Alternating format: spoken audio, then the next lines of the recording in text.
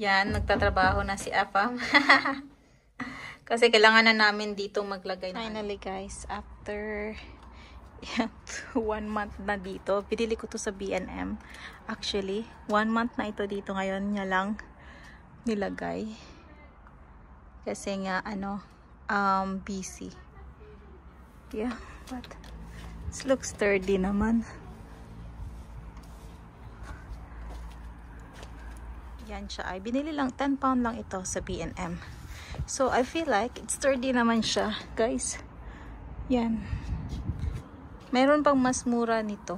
Uh, 6 pound pero mas smaller 'yon kasi ito mas malaki.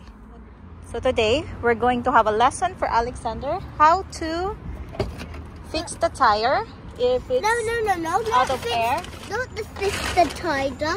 What? Put air into the tire. Oh yeah, oh my god. Oh, it's in daddy car. Let me get it.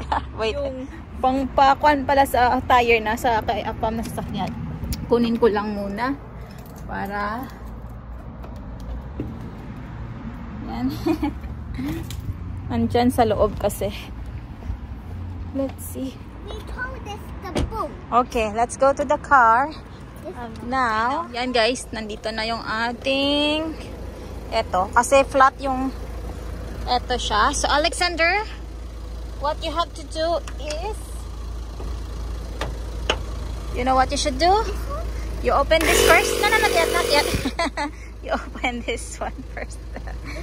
yeah, harder. Oh. Okay, like that. You open it now? No, no, no. Open it first. Because he needs to learn these things. Okay. And then this one. Remove it. And like that. And then you have to put it like here. And so fast like that.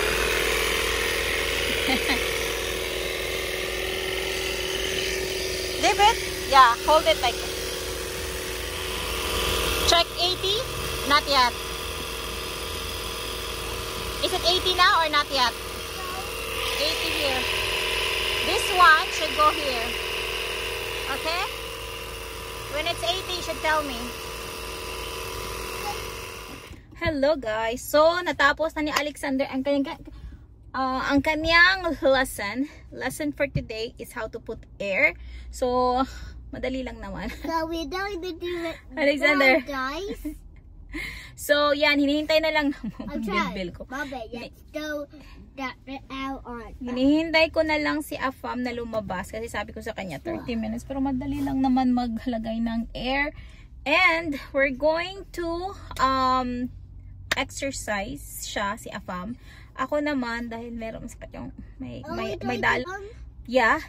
May dalaw ako so um mag-ano lang ako, maglilinis-linis ng konti doon sa kabila and then And then, si Alexander naman, he will get, I will get some, of, he will get some of his blocks then, kasi meron pa siya Yeah. doon. Yeah, so you can build so much big, okay? And then after that, punta kami ng yeah, bus Sainsbury's. Yeah, kasi, here Alexander, hello! You want to do live? Kasi pupunta, Uh, yeah. yeah, okay, so magla-live muna kami sa Facebook ng kaunti, guys, okay? Bye for now. Update ko kayo mamaya. Punta kayo kami ng Sainsbury's later. Yeah. paper. But I saw Tom. pen, I. Yeah. Whatever. But yeah. And Wednesday, if he doesn't open together, just Yeah. them, you know. Didn't give him any notice, you know what I mean? Yeah, maybe. okay. And ito pa yung nabili namin. We'll go to buy some fish. Okay. Dito kami sa Sainsbury's. And si Alexander yung nagsha-shopping. Ang guys. At kuha tayo nito. Beans. And uh, chicken. Oh, may sale sila dito ay. Sander, stay with me. Yeah. Nilalamig si Alexander guys. Actually, malamig pa. Parang gusto ko na. Alexander, careful. Okay? How about in the down? The one in the down. Oh, Nice, a nice box. It's a little bit bent. Oh, look oh. I like a nice one. Just start with it. I didn't thought it would be such an issue. What? It's bad? Yes, this, this is a chocolate donut with chocolate sweetness. So bad. Okay. Oh, they have cake here. Let's see this cake. Um, this cake is 7.50 now, and let's see the expiration of this. It will expire. Oh, today. Oh, we cannot have that because it will expire today. And this one also today. Sayang. So yan. Uh, we need to buy more. What about you, babe? What do you want to buy? Nothing. Nothing? Okay, just It's something. look. I wanted to buy you this last time. Yeah, which one is that? Oh, it's not even here. Yeah, but okay, Alexander. You want pancake, Alexander? Hmm. Oh, and where's the croissant here? Pancake. It's there. Us try this one. You want that? Okay. Oh, here. Oh, Ayan. Croissant. Mula silang croissant. Oh my God, you want that? That is not the croissant that you can take. You want this? Oh, okay. It's not, it's not like one by one, you know. Okay. Nag-shopping si Alexander. Nihilig mag-shopping. Okay, let's... Oh. Some veggies Mommy, over these there. are not healthy either. Yeah, it's not healthy. These, these, the these, the these, these, these, these, these, these, Yung mga chocolate. these, Hindi healthy. these are not healthy.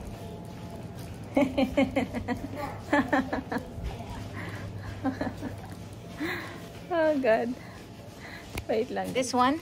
Oh no. Oh there. no, no, no. You need to arrange it. Have to Which put one it is back. yours?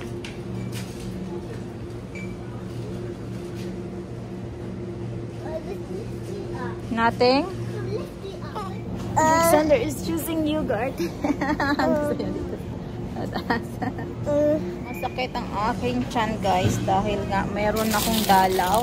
Tingnan nyo si Alexander. let's go, let's go here. Patapos na kami. ah, ano na lang, chicken na lang. Tapos na kami mag-shopping guys. And luckily, 75 plus yung aming nabili. Kasi if less than that, Plus five, it was ten. Yeah, kasi if less than 760, hindi ko makukuha yung aking free na 9 pound. So, it's good time. A good, good uh, price. I mean, basta yung total yung importante. Yan, at least meron tayong taga-ano ngayon, taga-unload. And Alex, Hello, Alexander. Yeah, dad, daddy is, and then, kakain ako ng banana kasi nagutom na ako. Ah, sakit ng tiyan ko. Sakit talaga ng tiyan ko. Yan, pag nandito sa Apam, siya naman yung sa grocery, which is good. We are here na sa bahay, guys, at i-arrange ko lang itong mga binili namin. Tapos, ay sabi kumain na siya. Itong strawberry, i-ano ko lang siya, lilinisan ko siya. Kasi, Alexander, you need to eat your strawberry now, okay? Because later on, hindi na siya that tasty. I mean, after 2 days, 3 days, hindi na siya ganun ka-fresh. But look at now. Super fresh pa niya, di ba? Red na red. Yeah. Tapos, chicken. Ikakat ko to. Babe, you want juice or just the the yogurt? Yes. Okay. So, lagay ko lang siya sa cook later, then. Uh, in one hour. Okay. Kasi masakit yung aking puson, guys. Masakit yung aking puson, kaya ito na lang yung ibibigay ko sa kanya muna. Magluluto ako mamaya. Madali lang naman to. Yogurt lang, tsaka banana. Yun lang. diba? Sa atin, snacks-snacks lang ito. So, we preferred yogurt than ice cream. Banana. Yan, nandito. Pumili din ako ng Yakult for Alexander. Kasi normally yung binibili ko sa kanya is uh, Yakult, Actimel. Yan natin ang dalawang banana. Masarap siya actually. Masarap na siya kahit walang banana. Pero mas masarap pa siya pag may banana. Maybe some strawberry. Pero ayaw niya kasi ngayon ng strawberry. Kasi sometimes nilalagay ko siya ng strawberry. Ganun lang guys. Easy. Yung ano to, ah... tip, hindi naman tipid, um, quick, quick preparation. Kasi nga, ayoko yung mga, pag nagluluto ako guys, mabilisan lang din talaga. Like etong chicken. Lulutuin ko lang siya sa ano, um, ganyan, or may mga sauce. Oh, nakalimutan ko pala magbili ng sauce. Yan, masarap na po. Ito ay. Yan. Sarap na kasi to. Mmm. Mmm. Mmm. Mm, good. So good. Oh my God, guys. Masarap talaga siya. Mm.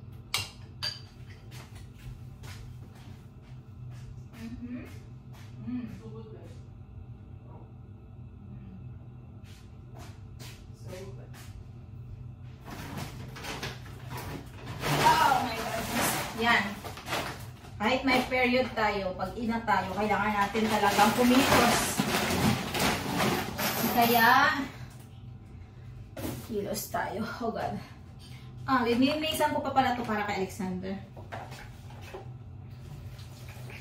After that, nandito ay lilinis tayo ng paunti-unti. Kasi pag dumating kami sa bahay, guys, nagugutom ka agad kami, kaya syempre, kailangan kumain muna talaga. Yan. Tapos, kakat ko tong ano, kakat ko to kasi ayaw ni Alexander ang tawag yung leaves. Ayaw niya. Ganon. Tapos, dito, gusto niya talaga yung wala ito. Yung parang ganyan. So, ako yung kain ito. Mahilig si Alexander sa strawberry. Oh. Yan, yan lang yung ginagawa ko. Itong part, sa akin pa. Same. Ang, priority ko kasi guys, kung nagka-shopping ako, si Apam, tsaka si Alexander. Kasi sa akin, kumakain ako kahit ano.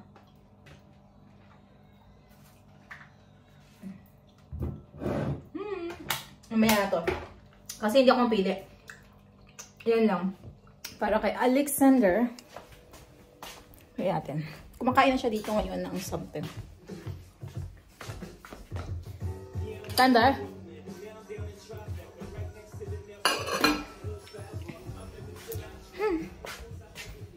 Okay. Nag-arrange na akong pain muna guys. Mamaya ulit.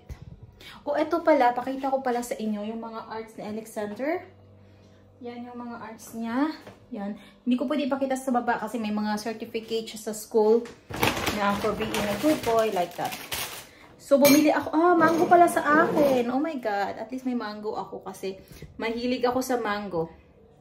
As in. Mahal na siya ngayon yung mango.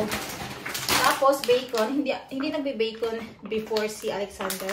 Pero nung nagpunta kami ng playhouse, nagustuhan niya yung bacon. Kaya, bacon now. And then, pistachio. Mahilig ako sa pistachio, guys.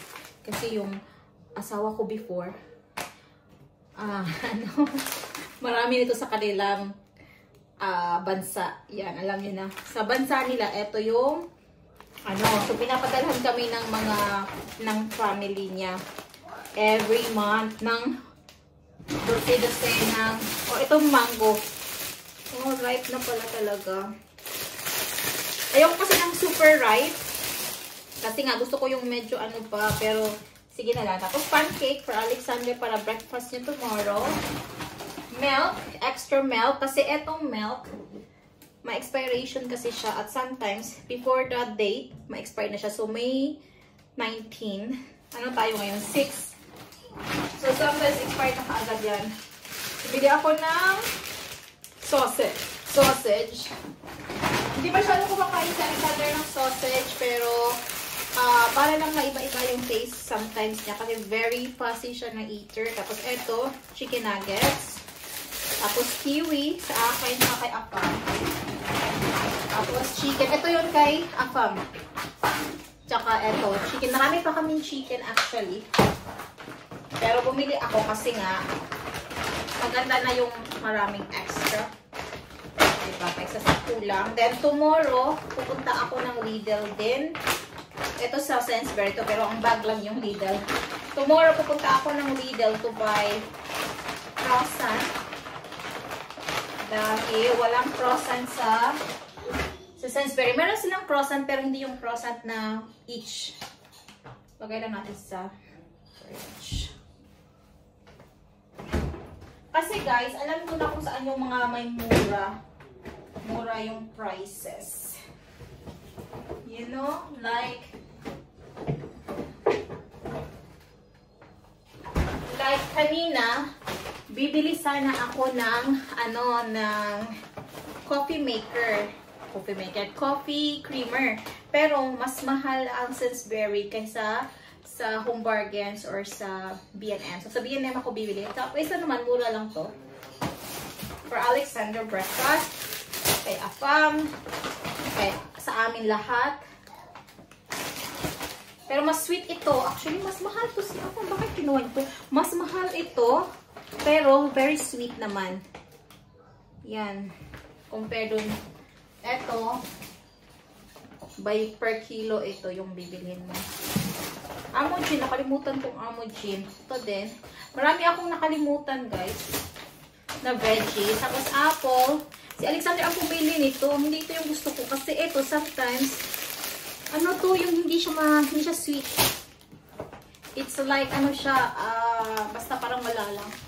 And here, tissue. Ito yung ginagamit namin tissue dahil, um, thicker compare sa other tissue na super thin. Yan lang. Kunti lang pala yung binili namin, no? Pero worth ano na yan? 75. Minus 9 pound. Ah, eto pala. Bumili pala kami ng mga Mr. Muscle. Kasi masyadong hindi na nagpa-flash masyado yung uh, toilet. Kaya nilagyan namin. Yan. Oh God. Okay, guys. Kain tayo ng mango. Lagay ko lang ito sa freezer.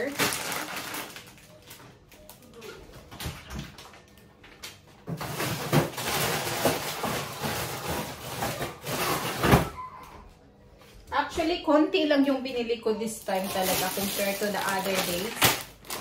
Kasi normally, bumibili ako ng madami.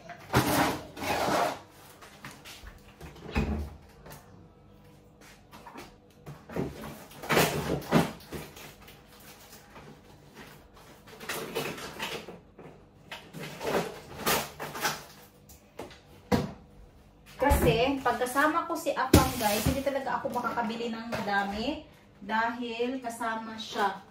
Pag hindi siya kasama, makakapag-isip talaga ako kung ano yung bibilhin ko. Pero pagkasama siya, hindi. Ito yung aming pantry, kaya tawag. Pantry or something. Yan, meron ditong mga mga chocolates. Pero sa totoo lang, walang kumakain dito ng chocolates. Kaya nandito pa din to. Hopefully, dito ma-expire. Kasi bumibili ako. Oh my God, 622 on birthday. June, ma-expired na siya. Kailangan na namin kainin to. Yan, dapat hindi ako bumili. Kasi, ang planning sana, bumili ng mga, ano, ng mga, ano tawag dito? Ng mga, um, chocolate. Kasi uwi ako ng Pinas. Kaso nga lang, I'm not so sure if makaka-uwi, ako. You know, but I'm planning to, I'm planning to, ano, planning na magbakasyon. Hopefully, makapag, hopefully makapagbakasyon tayo this year. Hopefully. Tapos yung mga plates namin, nandito siya kasi si Alexander gusto niya gusto niya independent siya. So, dyan niya, madali lang niya ikunin yung, ah yeah, look at this mango. Alam nyo, kumakain ba kayo ng skin? Kumakain ako ng skin. Hmm. Alam nyo, yung iba, ayaw nila. Pero ako, gusto-gusto ko ng skin. I don't know. Matagal na ako hindi nakakain ng Indian mango. Si Alexander kumakain din pala siya ng mango. Wait lang, lagyan natin siya Dito. Pero walang skin yun sa kanya. Ito lang, ganito. Ginaganon ko lang, wala nang chop-chop. Para hindi tayo masyadong maraming hugasin. Ganun lang sa akin. Tapos pag hindi niya naman naubos yung mango, ako din yung kain. Pero may, ano naman siya, may laman naman yung aking manga. Mm.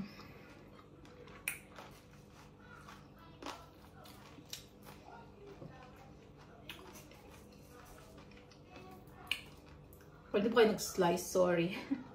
Ganito ko mag-slice. Malinis naman yung kamay ko, kaya okay lang yan. Malinis ang aking kamay. Oh my God, so juicy. Kaya ayaw ko masyadong ripe. Pero si Alexander, gusto niya actually ito. Yung ganito. Yan o. Super ripe niya. Okay. Akin na to. Kasi kinakain ko yung yung ano yung buto niya around it.